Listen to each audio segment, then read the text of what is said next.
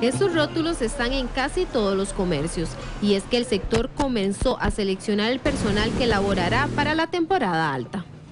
Son personas que vienen, este, hacen una solicitud durante tres meses y nosotros le damos este, oportunidad de que puedan trabajar en esa época.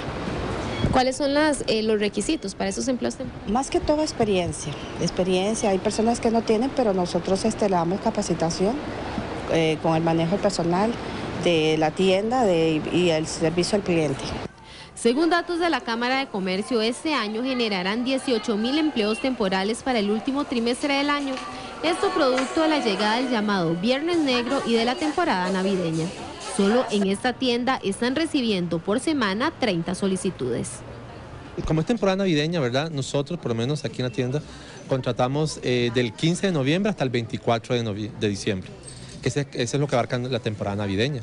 Entonces se les, llama, se les hace prueba y, se les va viendo, ¿verdad? Porque recuerda que no todos, digamos, tienen la facilidad de venta. O sea, ese trato, ese, ese, ese clic con el cliente. Entonces hay que saber elegir bien el personal para darle una mejor atención al cliente.